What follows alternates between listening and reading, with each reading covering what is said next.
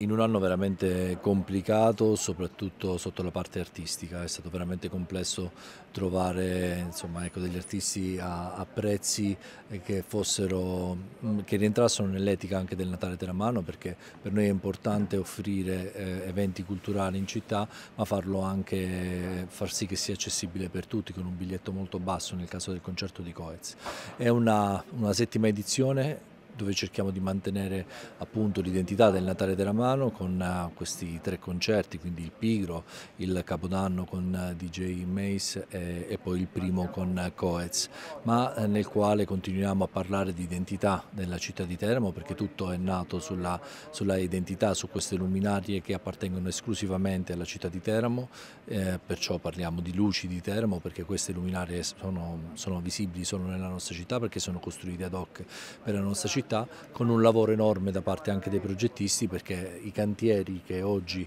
imperversano sulla città di Teramo eh, che ci danno anche un senso di rinascita, di, di, di speranza anche per i prossimi anni comunque hanno, eh, ci hanno obbligati insomma, anche a lavorare a terra, eh, ad ampliare eh, anche il mercatino su, sull'area di Piazza Marte rinunciando alla pista e facendo un lavoro anche appunto a terra con luminarie da terra che, che sono poi anche dei punti molto interessanti per scattarsi selfie eccetera, quindi per creare interazioni online.